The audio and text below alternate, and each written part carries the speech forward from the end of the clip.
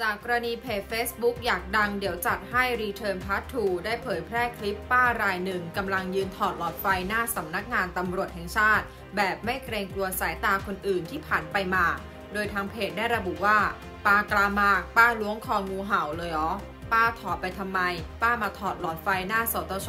เวลา 19นาฬิกา20 นาทีโดยประมาณ ไม่ได้นะป้า มันของหลวง โดยคุณป้ารายนี้ก็ไม่ได้ทำการถอดหลอดไฟแค่ดวงเดียวเท่านั้น แต่ไล่ถอดอยู่สักพักใหญ่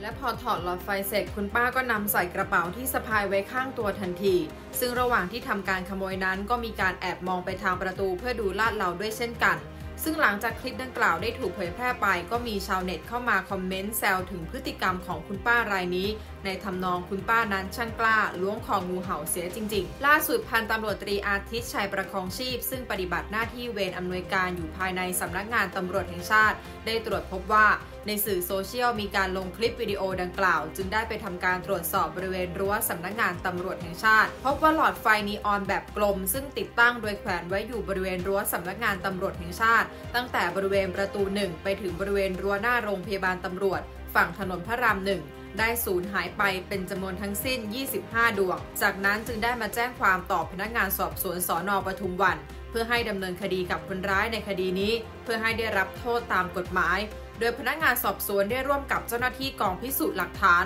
ร่วมกันตรวจสถานที่เกิดเหตุไว้แล้ว จะได้ดำเนินการสอบสวนต่อไป